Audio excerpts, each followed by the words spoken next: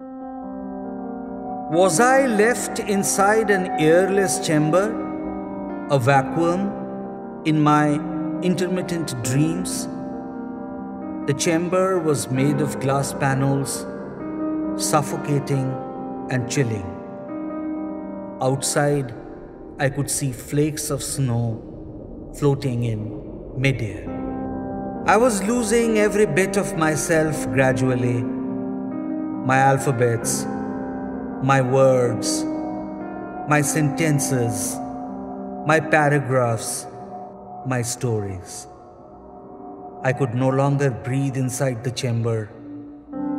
My insides were churning, on the verge of a violent vomit. As my eyes closed, I saw my mother, disheveled, running wildly inside the jungle away from me. And then I saw them coming back to me like hurling rockets. My alphabets, my words, my sentences, my paragraphs, my stories, like colorful graffiti on the end wall.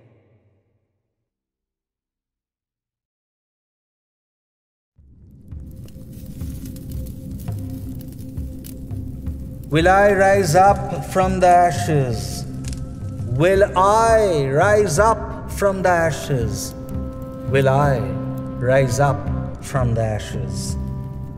To roam around the bylanes where your fragrance trails through the air ignoring the perennial mist of squalid dust and soot? Will I rise up from the ashes? Will I rise up from the ashes to swim in the sparkling waters where you have swum, leaving behind your dead cells and the asphyxiation of your supple body in the ripples of the water? Will I rise up from the ashes?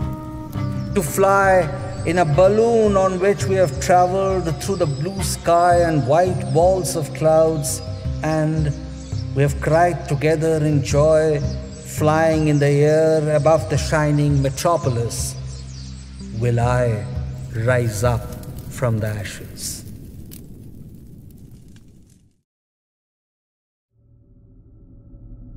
Well, the saucer fell from my hands into a sunless well.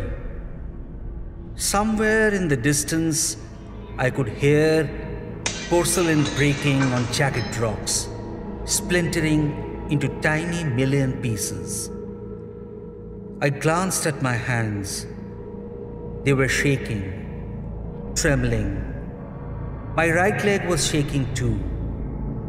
My eyes strained inside the sunless well, silence and darkness and pungent aroma bubbled like fog from the ancient well. And then, if you concentrated a bit hard, you could hear a few muffled screams rising too. It seemed somebody was being strangled, bones cracking, and there was a struggle. Then I looked behind me.